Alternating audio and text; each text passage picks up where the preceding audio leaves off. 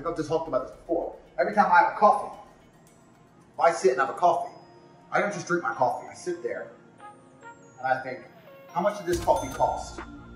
What's the profit margin? Who served it to me?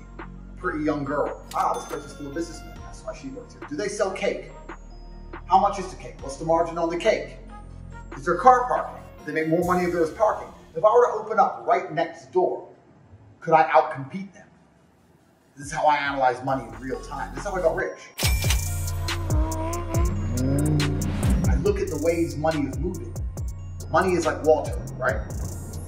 Rains, lands in a puddle, maybe flows down in the stream into the ocean, evaporates, and it goes back into the sky and it rains out somewhere else. That's how money works. So I analyze money in real time. And when I was analyzing plane companies, I thought, okay, that'd be hard to.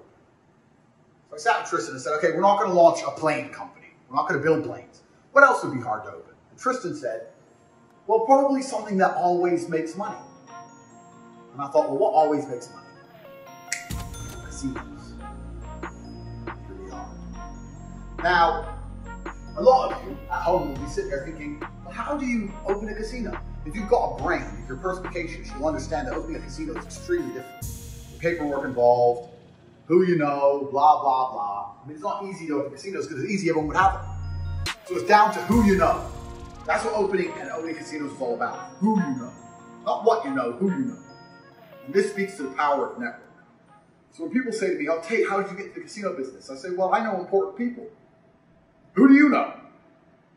It's a really good test of yourself as a man. If you're watching this video, go through your phone, scroll through your phone book, and find the top five most important people in your phone.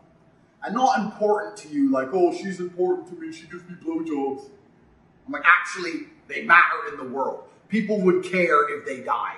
People listen when they talk. Who are the most five, five most important people in your phone? And then add up their combined net worth. And you'll realize it's pennies. The five most important people you know couldn't even buy your. They're gonna have three million million. You understand? What chance do you stand if you're not talking to the right people? A man like me, I can say I want to open casinos and start making phone calls.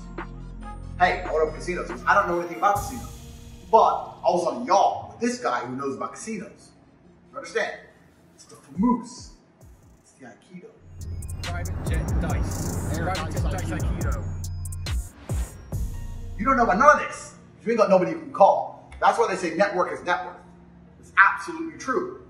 But how do you get a powerful network? You also need to be valuable to these people. So you can't just be a shit muncher because if you're a shit muncher, they don't answer your calls, right? So you have to provide value to receive value. And that's the lesson of this Tate speech.